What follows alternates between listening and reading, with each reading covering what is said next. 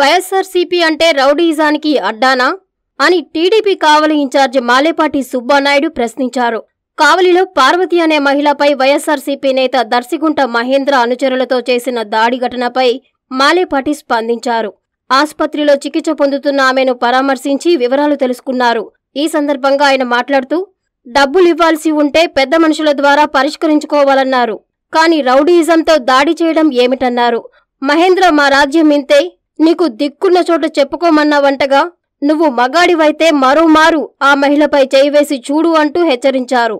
ఎవరికి ఇబ్బంది వచ్చినా మాలేపాటి ఉన్నాడని గుర్తించుకోవాలన్నారు.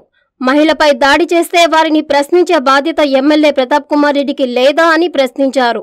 ఎమ్మెల్యే చెప్పాడని పోలీసులు తూతూ మంత్రంగా కేసులు పెడితే సహించేది లేదన్నారు. బాధిత మహిళకు న్యాయం జరిగే వరకు టీడీపీ అండగా ఉంటుందని తెలిపారు. పోలీసులు న్యాయం చేయకపోతే పోలీస్ స్టేషన్ను ముట్టడించేందుకు వెనుకాడేది లేదన్నారు. ఆయన వెంట టీడీపీ నేతలు ఉన్నారు. వీరందరూ కూడా మన అదే పెద్ద చర్చ జరుగుతుంది. నీ కలిపి ఒక ఎమ్మెల్యేగా నీకు కనిపించలేదా? నీకు లేదా బాధ్యత? నీ మనసు రవిడేజం చేయిస్తావా? నీకు అడిగే బాధ్యత లేదా అంటాను. నేను రెండుసార్లు సార్లు ఒక ఎమ్మెల్యేగా. ఇదే నువ్వా? రెండు చేసేది. కావాలి మీరు రౌడీజం చేస్తున్నావా? నీ రౌడీజం సాగదో సాగనేమను గుర్తుపెట్టుకోండి.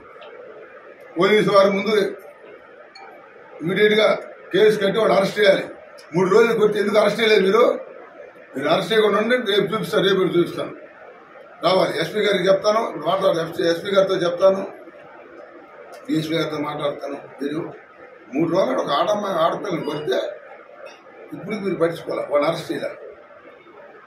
ఎక్కడ ఉంది న్యాయం రష్యన్ ఏడ ఉంది ప్రజలకి? వెంటనే ఆ- ఏ పేరు అమ్మాయి పేరు? పార్వతి. ఇంటి పేరు ఏంది? అరకబెట్ల పార్వతికి వెంటనే న్యాయం జరగాలి. జరగకుంటే ఇది తీవ్రత చేస్తాం. పోలీసు వారు వెంటనే వాళ్ళని అరెస్ట్ చేయాలి. అరెస్ట్ చేయకుంటే దీన్ని ఉద్రేకం చేస్తాం.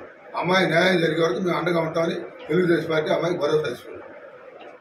ఆంధ్రప్రదేశ్లో మరే ఇతర విద్యా సంస్థకు సాధ్యం కాని ఓపెన్ కేటగిరీలో ఆల్ ఇండియా సెకండ్ ర్యాంకుతో విజయ పతాకమెగురవేసిన ఐఐటి ర్యాంకుల పురిటిగడ్డ నెల్లూరు నారాయణ.